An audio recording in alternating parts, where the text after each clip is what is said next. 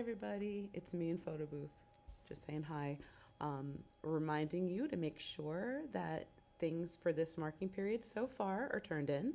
There are just two main assignments the quiz, the very lighthearted, non stressful quiz, and um, the very non stressful matching, where you match the symbols to their title.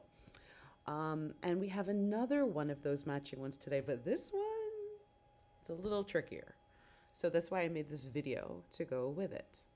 So let's check it out. Okay, here is our musical symbol crossword. And here are the symbols, and here are their names. Here, you will cut and paste the names of the symbols into all of these terms are going to go somewhere on this board. And this tells you what they're looking for in a crossword puzzle. So this one is one across. Do you remember what this is called? This has a couple different names. But can you find the name of that here? If you can't, good news. We have this guide to help us. So it's a treble clef. So what we'll do is we'll click on treble clef. And I'm going to click the corner a couple times. I just hit click, click.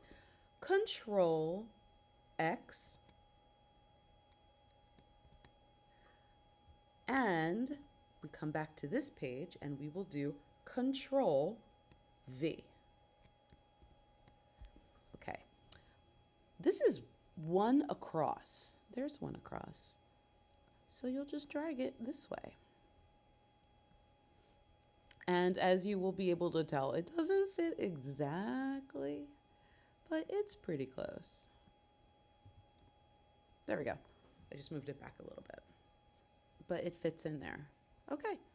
Oh, you might be wondering, Ms. Rosario, what are these circles here? Well, click on one Control X, click, Control V, find it, drag it, and cover it up because that's done. So that'll help you. So you'll know which ones are finished and which ones um, you still have to do. Let's try another one. Let's try one down. Oh, we talked about that a little bit before. Can we find it on our chart?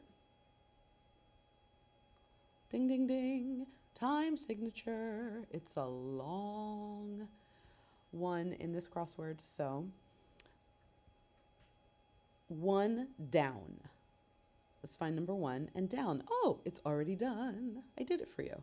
And you have you'll have like a double T in here. Um, you'll have double letters where there's two, and if you want, you can just take one out. It's up to you. When you're finished them, you mark them off. So, as you can see, it's a little tricky. Do your best and turn in the best work you're able to do. And I will have another video next week taking us through all of the answers so you can drag it along and make your corrections. We will also talk about the function of these terms too. So now I just want you to kind of get familiar with them, what they look like, what they're called, and we will talk about their function more next week. Okay, have fun. I'm trying to make it a little different, little little more crafty, I guess. So, have a great day. Remember, turn in your assignments for the fourth marking period. The main two are going to be your other drag and paste musical symbols and that lighthearted, don't worry about it, please don't get stressed out quiz.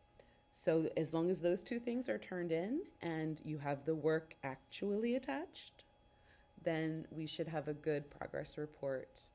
And you have until Friday to get the past due assignments into me. This one, as usual, is not due until next Wednesday. Okay, guys, enjoy, happy puzzling, stay patient, and remember you have a guide to help you. Thank you, bye.